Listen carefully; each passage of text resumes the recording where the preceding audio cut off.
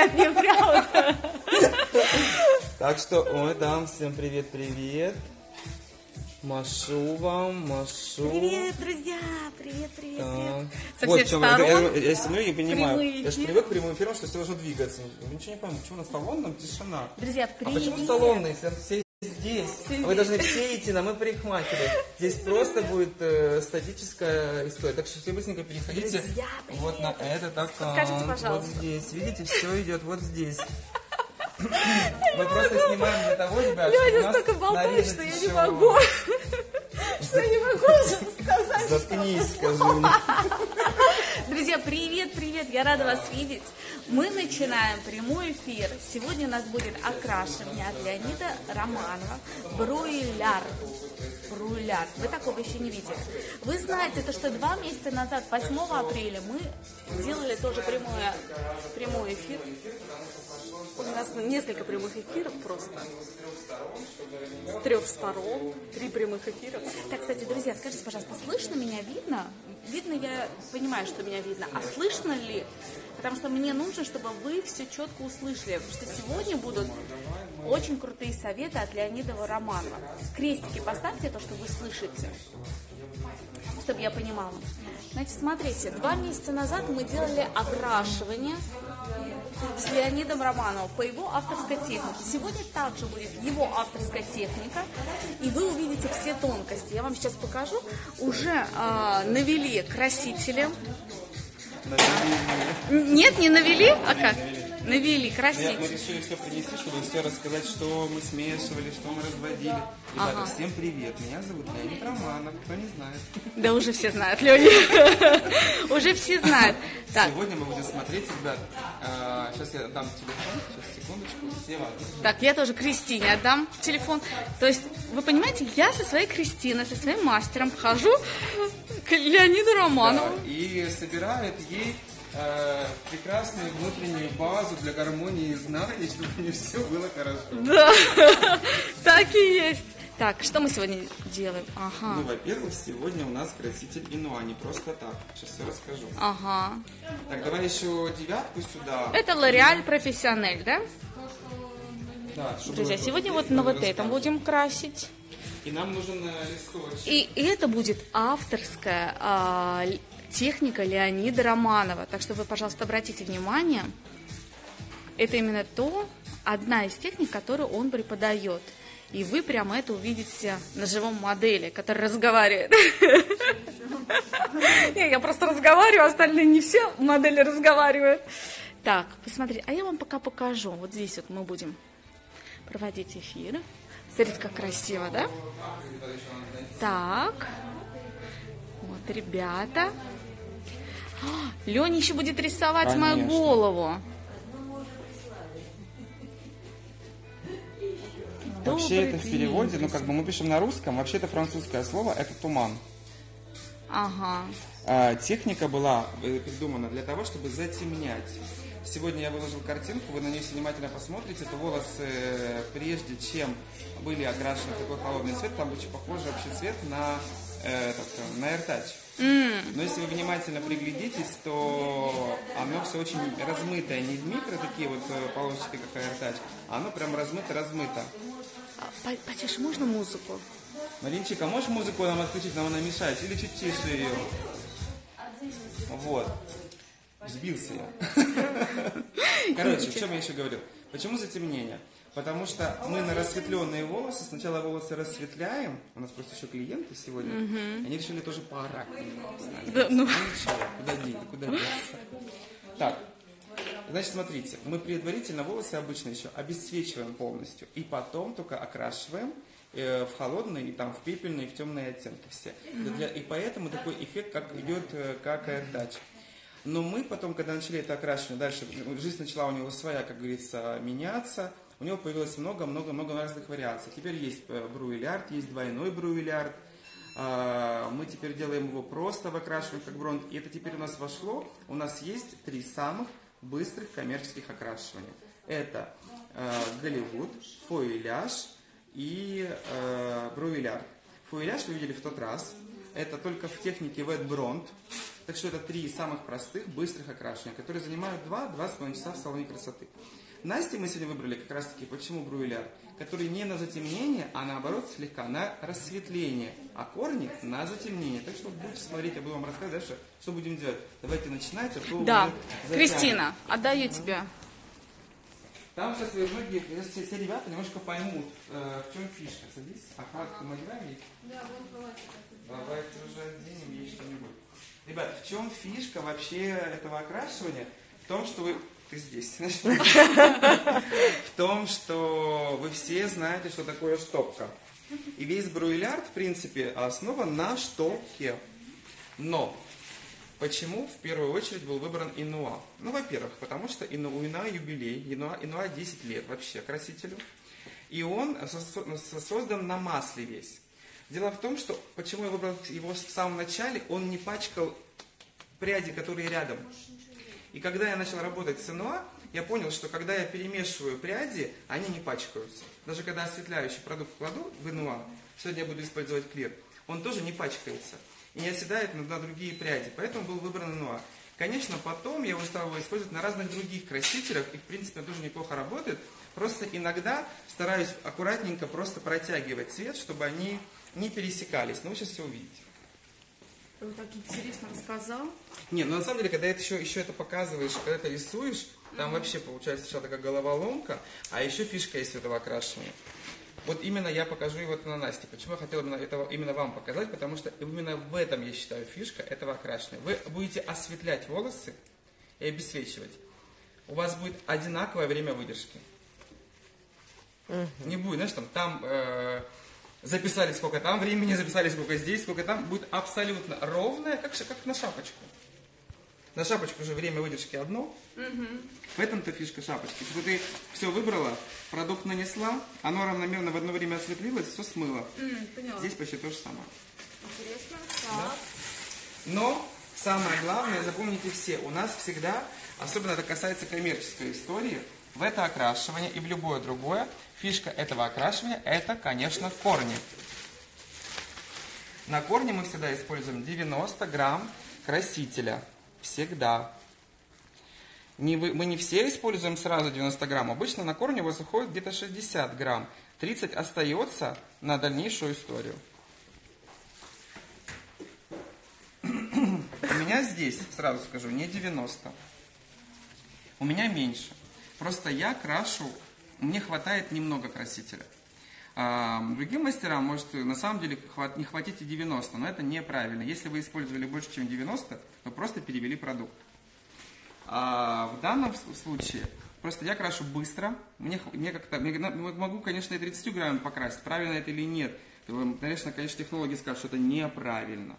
Вот, но я хочу сказать, если у меня есть клиенты, кому хватает полтюбика краски, то зачем мне использовать его весь? И у нас нет такого, что клиент заплатил за полтюбика краски или за тюбик краски. У нас клиент платит за услугу. У нас не платит клиент. Вы мне положили 20 грамм, вы положили 40 грамм, вы положили мне 1 грамм, а платите совершенно одинаковый чек. Потому что я так смог, а другой так не сможет. А возможно, кто-то сможет и 10 грамм покрасить. Ну, это, конечно, вряд ли, но... Хвостик. А, нужны еще, нужны еще полотенца, ребят. А у тебя что? А у меня я тоже смотрю. Так что я буду вопросы читать. Да, да, да. Когда Сейчас мы дождемся хвостик. Мы, конечно, так готовились, так готовились, ребята, что, как единственное, не забыли, не нашли ни маркеры, ни хвостик. Да, здесь идет прямой эфир. А, который ты загородила, Да, который я своим медицинским халатиком загородила. Ты знаешь, ну, в принципе, он там записывается, самое главное. Давай мы его либо сюда его подвинем. Да, наверное, лучше туда. Это надо все целиком эту штуку. Друзья, расскажите, с каких вы городов нас смотрите, потому что я знаю, что мне в директ сегодня написал вчера еще. Огромное количество парикмахеров говорили, мы специально хотим посмотреть Леонида Романова, мы будильник будем ставить, мы отменяем запись для того, чтобы увидеть, как э, этот великий человек, любимый, Пятигорск, Москва. Да. Давайте. Москва рядом с нами, да? Кто-то сейчас раз кто-нибудь мимо Ростов-на-Дону. Отлично. Омск. Екатеринбург. Москва.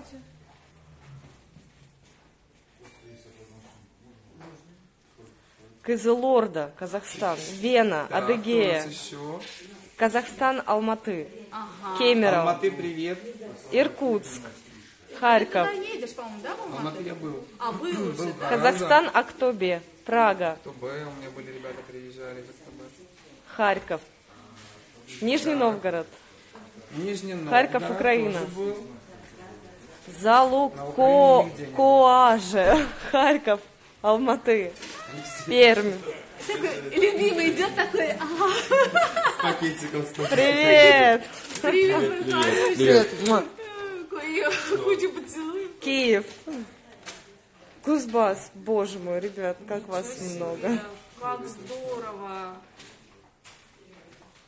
Так, ну мы сегодня научимся. Мариуполь. Ереван. Так, еще кто Леня, у нас надо на? Украину ехать, мне кажется. Надо, надо, ребята. Если кто-то хочет организовать мой мастер-класс где-нибудь, пишите в директ либо мне, либо Насте. Настя мне передаст. Вот, и мы организуем в вашем городе мастер-класс. Тюмень к нам присоединилась. Ой, здорово.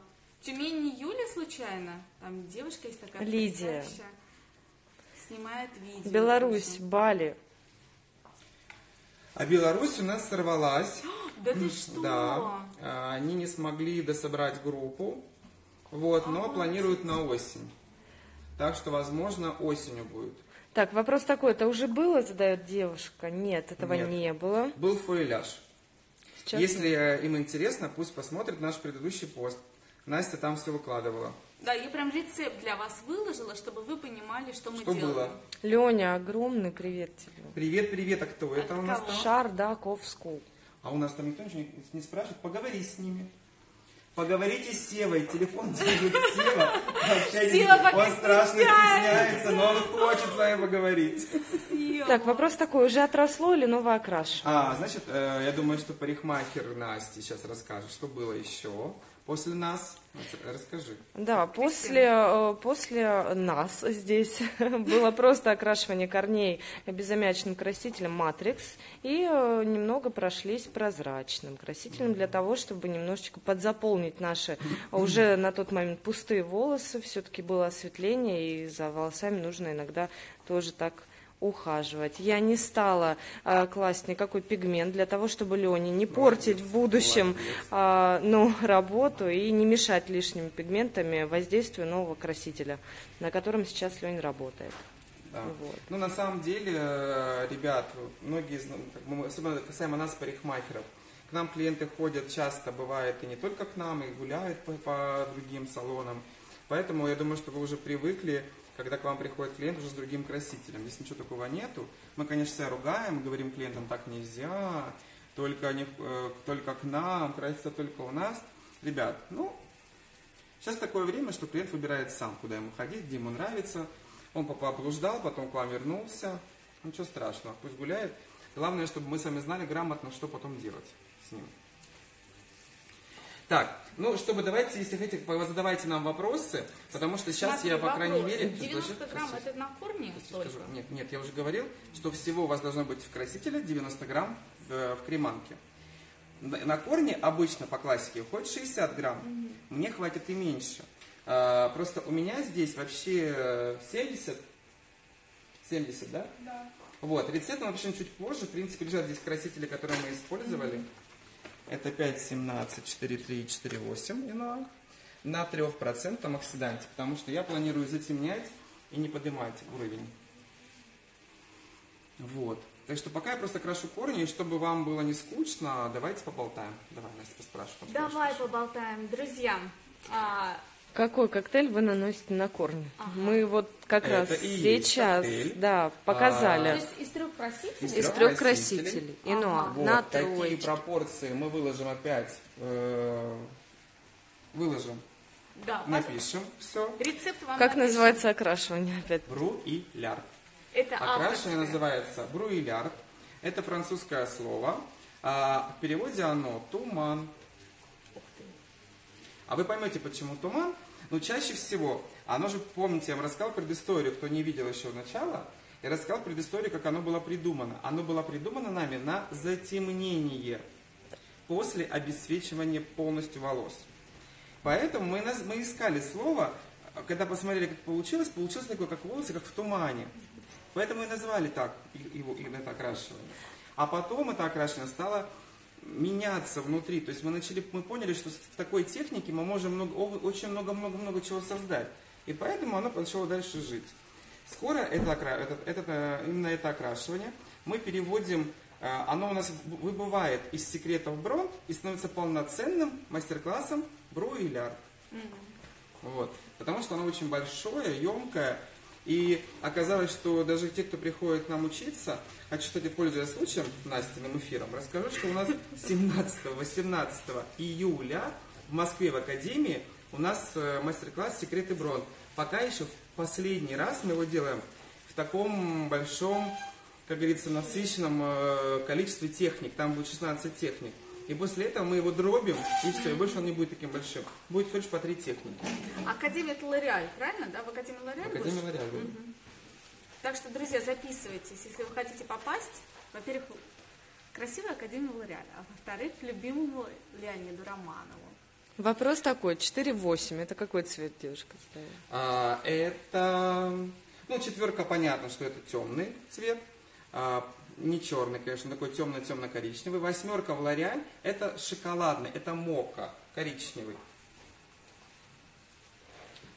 Тройка это золотой, а 5-17, я его очень люблю, это просто очень-очень холодный. Семерка это получается, что у нас там, коричневый.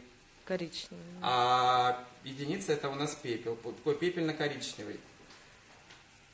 И мы добавили туда еще немножко мока. Каким цветом я в итоге буду? Красивым. Кстати, вы знаете, у меня все, когда клиенты спрашивают, какая я буду, дайте посмотреть, а какая я буду? Будешь красивой. Ну что же вы будете ее уродливать делать? Красивой. Короче, мы с вами увидим. Тем более мне невыгодно вообще Настя делать некрасиво. Это же вы видите вся Россия, не только Россия. Не только Россия, да. И каждый день будут видеть. Я Романов красил. Господи. Это я вам, помните, рассказывал историю про Камчатку? Нет, не рассказывал. Забыла, наверное, рассказывал. А, я приехал впервые на Камчатку с мастер-классом, еще тогда он был, назывался не «Секреты Бронт», назывался «Техники милирования». Вот, так как вы думаете, что все понимаете, что все рассветления это в принципе и так техники милирования, вот, поэтому он раньше так и назывался. Сейчас, кстати, кто-то у меня это слово уже взял, кто-то его использует. Называется материал техники милирования. Вот. И я первый этот отработал, там неделю уехал. Все прекрасно, все хорошо. А на следующий год организаторы начали опять ну, собирать народ. Mm-hmm. И такие, оп, сложности, не могут собрать народ. Почему? Оказывается, я всем моделям в тот раз сжег волосы. Это, ну, это слушай внимательно. А, легенда такая, сам желтый, все ага. его модели были желтые. И мы даже ржем, у нас уже есть прикол. Когда я кому-нибудь говорю, я привет, я желтый, все мои модели желтые. Это пошло именно с Камчатки.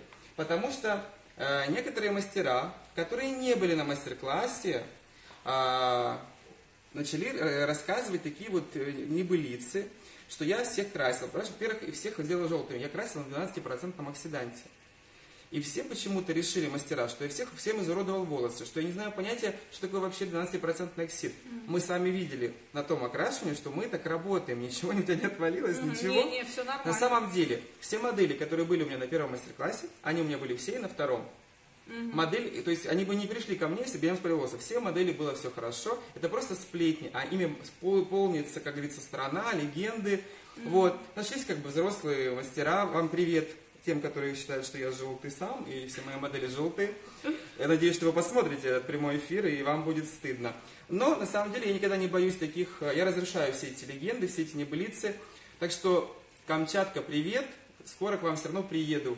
И всех перекрашу. И всех перекрашу в желтый. Желтый, да? Мой любимый цвет. На самом деле, Кстати, мне просто, правда, не идут э, холодные волосы. Я люблю теплые, золотистые волосы на себе.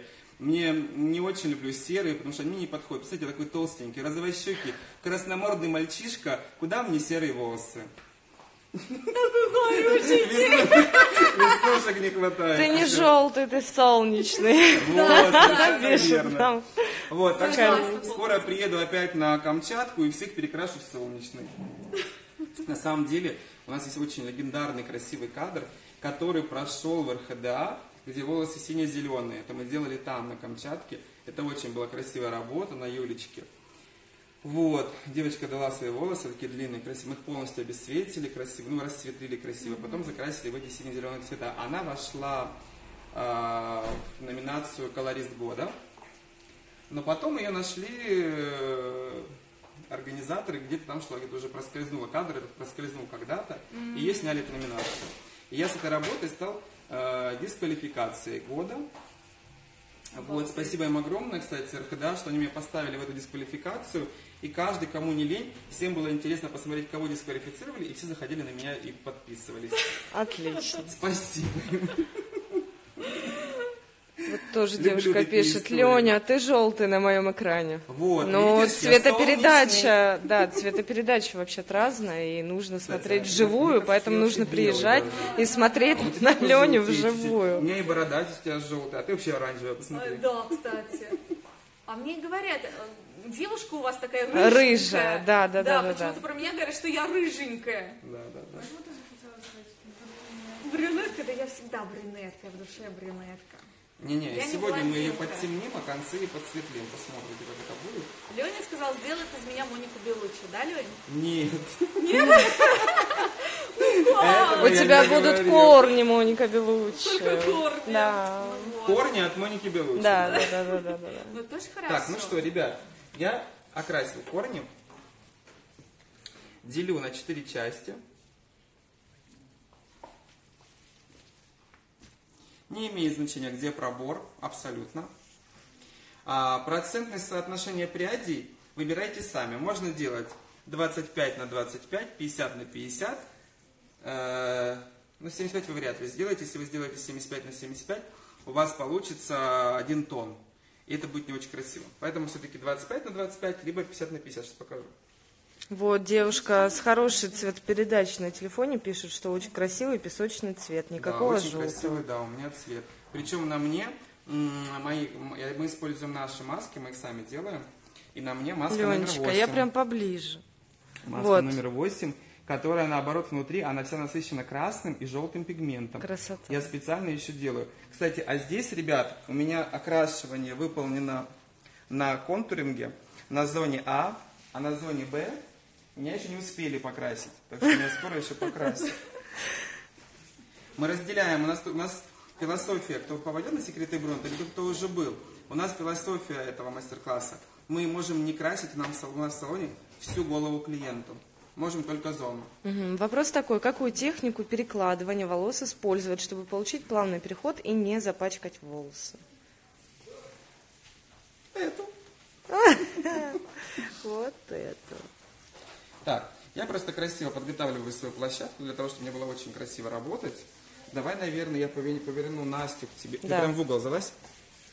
Так, Женечка, подвинь сюда нам этот. э, Нормально видно? Так лучше? Отлично. Не отсвечивает? Может, Настю чуть-чуть туда подвинем? Меня в угол с детства не ставят. Тебя в угол здесь не ставили? Я буду первый мужчина, который Ты поставил тебя в мужчина. угол. Сегодня мужу расскажу. Так. Поехали. Еще А очень часто, часто рассказываю, ребят, про то, что у нас э, существует очень тонкий висок. Не у всех он такой тонкий. У кого-то будет, бывает гуще, но чаще всего в России он все-таки тонкий. Поэтому прочесываем. Ребята, самое главное, у вас должна быть еще, помните всегда еще раз говорю, полотенце всегда должно быть рядом. И должна быть еще чистая расческа, любая. Для чего? Вам нужно быстро расчесать эти волосы, чтобы они были прочесаны хорошо. Если когда вы будете прочесывать, и если это еще блондинка, не в этом случае, потому что в случае с Настей, я согласился на эту технику показывать Насте, говорю, это очень будет быстро, я сам говорю, это будет быстро, комфортно и легко. Приходи, мы все сделаем. Здесь вы можете не увидеть пятен, но если она будет блондинка, и если, не дай бог, вы вот так шли и так и остановились, здесь будет пятно. Поэтому, когда вы делаете, когда вы прочесываете, нужно сделать так раз и все, чтобы у вас не было даже никаких пятен. Я выбираю штопку, все-таки в случае Насти 25 на 25. Что такое 25 на 25? Это крупные широкие пряди. Даже иногда это выглядит просто вот так. Угу. 50 на 50. Это так. Ну, в нашем понимании. Понятно? Светлую к лицу, крупную и вверх. Значит, те пряди, которые будут у меня отвечать за светлый оттенок, я двумя пальцами прижимаю и растираю краситель. Кладу. Эту прядь я растираю краситель, добавляю его еще. Вот та краска, которая вам нужна была лишняя. И начинаю его продвигать, но концы сантиметров там 5 не трогаю. Когда вы научитесь это делать быстро, у вас это будет прям хаотично. Не, рано, рано, рано. Лёнь, Проборы вопрос. 2-3 сантиметра. Я сейчас буду вам показывать, вы сейчас уже еще устанете от того, чтобы делать то же самое, одно и то же. Тут вопрос, как вы относитесь к стимпу? К стимподу? Да. Хорошо отношусь. У меня очень любят ребята его в салоне. Я не успеваю с ним работать, хотя я его очень люблю. Не успеваю, потому что очень много клиентов. И у нас э, последнее время э, для всех, опять же, по философии секретов Бронт, у нас есть две фирменные укладки. Потому что только они продают окрашивание в Инстаграм. С другими укладками вы не можете правильно пр- преподнести окрашивание. Просто вам стоп пудов это говорю, что да. Сегодня я попробую. Сегодня Настю хочу накрутить немножко просто чуть по- поиначе, а так, конечно, я все покажу.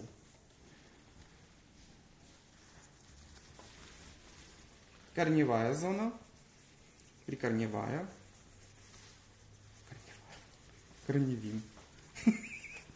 Корневун какой, а? Корневин. Так, Алексей, вы там что снимаете? Подгляд? Вас поставили подслушать, а вы еще подглядываете.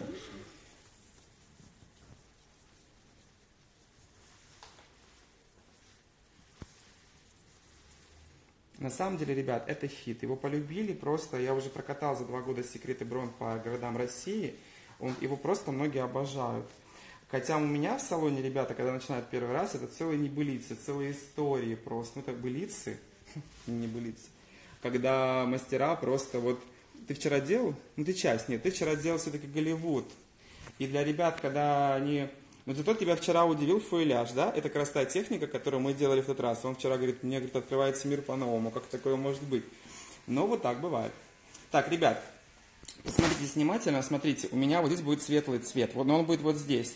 Я это уже примерно знаю. Видите, эта прядь падает на него.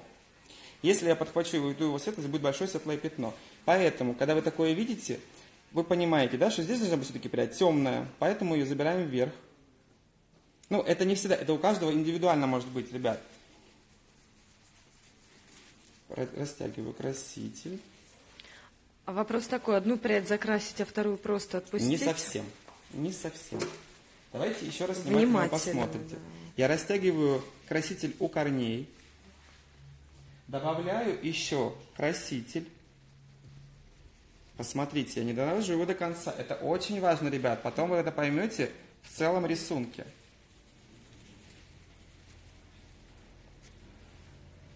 Оставляем концы светлыми. А здесь оставляем, получается, всю длину не трогаем. Так, руки я вытираю, потому что не трогаем волосы. Настенька, мы тебя повернем. Коричневый. Если волосы темно-коричневые, можно без осветления? Да. А, Мы называем... а, Раньше у нас ребята начали путаться от того, что что такое классический бройлярд. И мы выяснили, что классический бройлярд для меня все-таки и моих ребят, это вот, вот он уже готов. Существует, мы называем еще двойной, но это когда мы еще берем и дробим какую-то из этих прядей, еще делаем штопку. Но потом только выяснили в салоне, что все-таки бруйлярд в классике это когда всегда мы закрашиваем э, эти концы. Возьмите прозрачный краситель и все равно нанесите его на эту длину. Покройте эти волосы чем-нибудь. Не жалейте как бы и красителя, ничего, и времени. Необходимо закрыть эти волосы чем-нибудь все равно. Так он выглядит именно в классическом варианте. Этот же краситель добавляется что и на, а, что и на корне? Да. Это мы сейчас работаем одной смесью пока. Работает одна смесь, состоящая из трех цветов. Нюанс. Так, по- повторяю еще раз. Височек тоненький. Насте с ним еще жить и жить. Радовать вас этим виском. Да, виском, да. Надеюсь, не только этим. Поэтому их нужно сохранить, чтобы они были красивые, тяжелые, роскошные.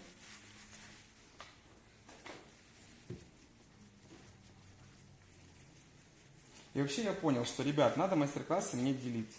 Я сейчас наделаю много-много маленьких мастер-классов. Единственное, что по городам, когда я езжу, это сложнее. Но в Москве я буду сейчас разговаривать с Академией Лореаль. И я буду запускать маленькие мастер-классы, которые могут занимать один день без отработки, с демо, где у меня все знают, что у меня на мастер-классах отработка идет и в первый день сразу. Все у меня пашут всегда. Вот, кстати, вопрос хороший. Проборы диагональные? Да. Да, Да. диагональные. А, делали прямые, ничего страшного, но я люблю диагональные все-таки.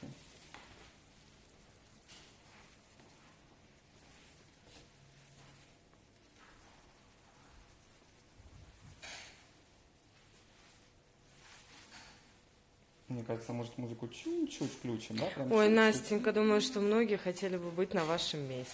Вот Это точно. Да. Это точно не потому, что я такой самый влюбленный, а потому что, правда, у нас, к сожалению, э, многие просто не попадают клиенты, и они сейчас думают, вот зараза, я ему деньги тащу, а он тут устроил прямой эфир. Съемки, да. Дождаться не можем его. А он тут... Вы знаете, у меня получается, что август и сентябрь получился очень такой насыщенный два месяца, что у меня практически нет клиентских дней. Да Я практически не появляюсь в салоне, да, практически. У меня отпуск и Париж, и поездки по городам. Сейчас, кстати, хочу вам рассказать, кстати, еще один момент, пока еще не успел Лореаль это запустить, я вам расскажу, будете первые это узнаете. Лореаль запускает новую историю. Лореаль сейчас будет искать своих топовых звезд, новых. Поэтому, если вы хотите стать творческим партнером Лореаль Профессионель, суперстар звездой Лореаль Профессионель, то скоро будет запуск мы ищем, э, придумывается название, мы будем искать новых талантов. Для этого необходимо будет участвовать в конкурсе, не в Color Trophy. Вы приходите, там у вас будет задание, вы делаете модель, и я с Иваном Ивановым, наш молодой творческий партнер, мы с ним будем а, выбирать лучших, а на следующий день будет большущий мастер-класс для них, для всех. От нас с Ваней мы готовим. А я приду, посмотрю, это Конечно. сниму. Супер. Друзья, я сниму для вас это. Это правда ближайшее, это будет аж, по-моему, август, если не ошибаюсь. Леш, август? Да. А творческим партнером можно стать с любого города России Да. или только из Москвы? Любого. Ага. Со всей России. Можно даже... В Краснодаре будете? Краснодар, вы знаете, ребята, все никак не попаду. Очень хочу. Очень хочу, если есть возможность, организовывайте сами. Лореаль меня не привозит туда. Там, видимо, своих у вас очень много. Вот. Своих творческих прекрасных людей. Поэтому либо приезжайте к нам в Москву, либо сами организовывайте. Мы только за. Так, так, так, так, так. Леонид, откуда? В каком городе вы сейчас? Я сейчас в Москве а, вместе с Настюхой и Кристиной сидим в центре города на Новослободской у депо. Ленечка, а откуда ты? А я родом из Крыма, с э, солнечного, прекрасного города Симферополь. В Москве я уже 13 лет. Поэтому у меня солнечные волосы. Да, кстати. Все взаимосвязано. Это точно. Вопрос такой. В Красноярске, кстати, я буду. Буду, да. Только у меня такое ощущение, что меня туда пригласили для какого-то салона, если я не ошибаюсь. Бывает, ребят, что меня приглашают в какой-то салон, консеть, и они закрывают какой-то день, и я просто учу Сотрудников, да? «Привет, привет». А, вопрос такой. Это конкурс от Лореаль только для россиян. Девушка живет во Франции. Да вы что? Да. А, слушай, ну это будет прикольно, что будет... э, ты сама русская, правильно понимаю? русская что русская девушка будет творческим партнером, живущая во Франции. Каннах, между прочим, Да? живет. Я только за. приезжай, тебе нужно будет приехать, привезти свою модель, ее нужно будет идеально одеть, это должна будет, это как колор трофи, идеальный образ. А, условия все будут написаны, ты можешь спросить, либо если как бы через Настю, можешь мне в директ, напи- в директ написать, и я расскажу об условиях конкурса чуть-чуть позже. Просто знайте, что это сейчас начнется, и у вас есть возможность, почему нет? Я думаю, что да.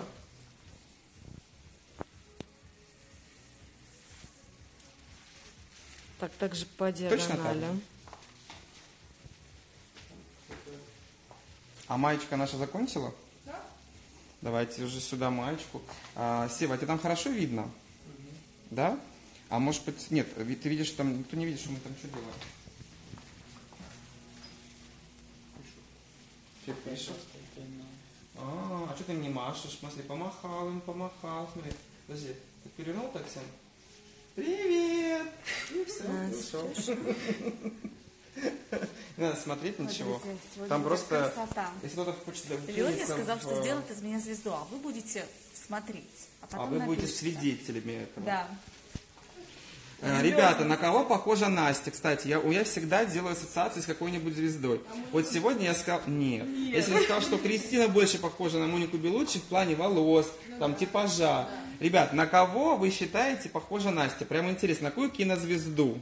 Может быть, на музыкальную звезду? Не могу, Ани найти, Лорак. не могу тебе найти Посмотрите, этот. это Аня Лорак? Лорак. По Да. цвету волос на сегодняшний день точно, да, под- подходит. Сейчас еще подкрасимся. А еще... Не томи, давай говори. Давайте. Нет, я вот не знаю, я вот все Не, думаю. Леня ждет от Я жду от вас ответ, ребята. Давайте, подскажите мне. Так, вопрос такой. Пряди между собой не пачкаются, пятен Не- не, не будет, пачкаются. если это будет блондинка. Вот, сейчас вы все это, ребята, увидите. Терпение. Я, если вы, наверное, только недавно подключились, я уже рассказал, в том фишка еще, что мне нравится, что это окрашивание, при этом окрашивании у вас рассветление или обесцвечивание происходит равномерно. Увидите Еще сейчас. какого результата мы добьемся, применяя эту технику? Красивых, плавных переходов. Кэти Перри, Настя. Да ладно, Кэти. Перри. Кэти Перри у нас, на- у нас э, Сашка. Чего? Что пишут? Кто это красавица? А, это красавица. Не для тебя это мама ягодка растила. Там пишет один красивый мужчина, спрашивает, что это за красавица. Отлично. Вот такая у нас Почему есть Настенька, ты можешь подписаться на нее, на мы парикмахеры. Обязательно подписывайся. Модель не видно. Так э, пойди покажи ей лицо, Да не я стесняйся. модель везде. А Кайт смотришь Винслайт. Кайт Винслайт. Кейт Уинслет? А, Почему-то на- а, Кейт За Винслет. счет кругленьких, кругленьких вот этих вот, здесь вот частей щечек. Да? Да, у нее тоже есть такая фишка у Кейт Уинслет, да, точно. Что-то есть, соглашусь. Ничего себе. Сейчас погублю. Да. Все, посмотрю. Прям Но. Кейт Уинслет, кстати, ребята, Кейт Уинслет же прям типичная, типичная блонда. Вот. Она редко бывает даже брондой. Пишет, это один тон. А сейчас это один тон, но скоро это один тон, созданный из трех нюансов. А сейчас еще будет клир. Сейчас вам расскажу, как у нас работает Инуа клир. Ева Лангория. Вот я Точно, хочу. точно. Соглашусь больше, что Ева Лангория, да. А она типичная бронда. То, что и ты, и есть. Такая прям И. Так, ребят, вот эта вот зона, вот эта вот зона, ребят, покажите вот эту, вот эту зону, она у нас всегда очень важная. Вот это. Как и в прошлом. Да, во всех, всегда. Она отвечает, как волосы рассыпаются. Вот как вы ее сделаете, вот так вот у вас будет рисунок. пятно, либо ляпка, либо полоска, либо что-то еще. Вот. э, Хорошо, что вы не на мастер-классе, который вот э, не в прямом эфире. Так, ребята, хорошо, прочесываем эту зону. Вы можете ее растянуть чуть больше, чем все остальные. Притемнить прям. Вот так. И здесь можете сделать, вот именно только в этой зоне, помнишь, как вчера, Сева, помнишь, я говорил именно про эту зону? Здесь можете помельчить. Но сюда оставляем больше темных. То, что светленькое будет, убираем в сторону, вот, их поменьше. Пишет, на каком проценте. Это 3 сейчас. Вот он, 3%. Вот вопрос такой, а каких переходов, если длина и корни одного тона? Ну, мы же пропускаем. Миленькая, ты видишь прятки вообще? Посмотри-ка, ну-ка ей поближе ей. Что там целое... Если бы у нас был бы один тон, мы бы, наверное, сейчас просто ее замазали одним тоном. Не выбирали бы прятки, не делали бы То есть я стою сейчас и занимаюсь ахинеей, а потом у меня будет один тон. Да, может быть, это, кстати, в начале, помните, я сказал, что если сделать 75 на 75, получится один тон визуально, но россыпь будет все равно красивая. Ребят, просто немножечко повнимательнее следите Смотрите за нашим внимательно, маэстро. ребят. Давайте вот так. Я обожаю брать вот это вот все и показывать, как это выглядит. э. Вот эти пряди будут другого цвета. Так, Настюш. Если хотим, чтобы было посветлее, можно и наоборот. Нет, да дождитесь. Ну что же вы такие, как, как и я, нетерпяшки?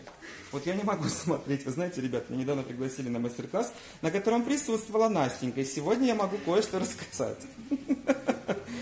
На самом деле, ребят, было, приехал, у нас э, в Москве, я думаю, что в каких других городах есть, есть салоны под названием... Забыл. Не говори. Забыл. Не, ну почему это нет? Ничего плохого, что не буду говорить. Мне все понравилось. Вот. А, не помнишь название? Мозартея, да? Да. Как правильно? Мозартея? Да, что такое? Ну, короче, ребят, это приехали французы. Вот, я... Да, и они, знаете, у него была такая презентация, он говорил, говорил, говорил, вот сейчас, вот сейчас, вот сейчас, вот сейчас, и вот, вот, вот, вот, два часа уже прошло, и он так, один срез, я такой, вау,